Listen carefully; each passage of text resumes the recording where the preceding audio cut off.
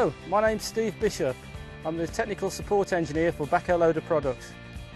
Uh, today we're going to look at the E-stick wear pad adjustment on the 428F backhoe loader. Every 250 hours you should inspect and adjust the wear pads if necessary. Correct adjustment of the wear pads is necessary to give you smooth E-stick operation.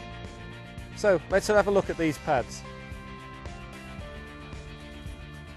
First job is to make sure there's no debris anywhere on the wear pads. Second job, make sure the, the, the stick is vertical. Bucket is slightly off the floor so there's no pressure on the E-stick wear pads. Next job is to loosen off the lock nuts. There are four lock nuts either side of the machine.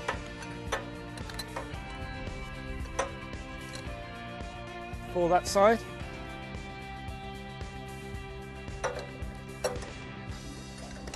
Then again, same on this side. Once they are loosened, your adjusting bolts should now be enough to adjust. When you're adjusting these bolts, make sure you keep the same clearance on either side of the stick.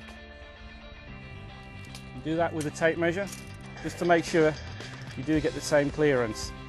If you move the stick over to one side or to the other side, you may get binding on the wear pads and it won't operate correctly. So it's important to remember that. To adjust the wear pads,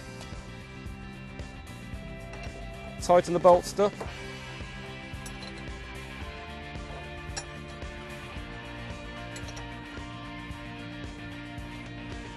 Same on the other side. Don't over tighten these bolts, otherwise you will end up with a very tight stick that won't operate.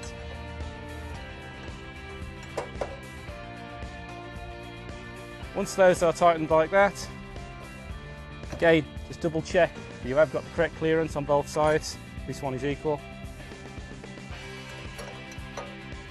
And tighten up the lock nuts.